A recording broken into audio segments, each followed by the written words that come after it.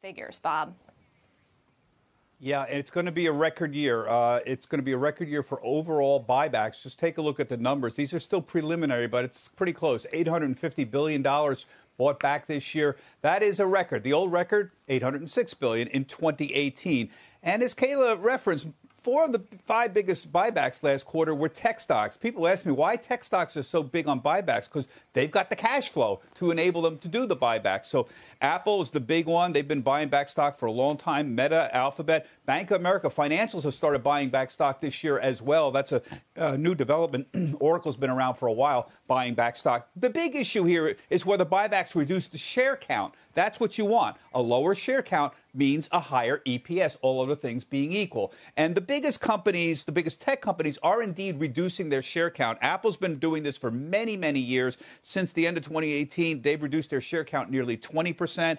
Uh, Meta, uh, Facebook just started reducing their share count. Alphabet's been doing it since 2018. Oracle's been a long time buyback monster. Uh, look at that 25% down in the last few years. But others are not. It's mixed, and it depends on what you're looking at. Among some of the other tech Tesla hasn't reduced their share count. It's been actually going up in the last few years. They haven't done any buybacks recently. Nvidia, same thing. Theirs has been going up. Broadcom's been going up. Uh, Adobe has not. Cisco's been slowly going down for the last several years. So you see, this is sort of a mixed picture here overall, the share count for the S&P 500, despite all of these buybacks that we've been doing for years, actually is higher this year than it was in 2018. It's not overall going down; it's going up. Why is that happening despite uh, several trillion dollars in buybacks in the last few years? There's two reasons.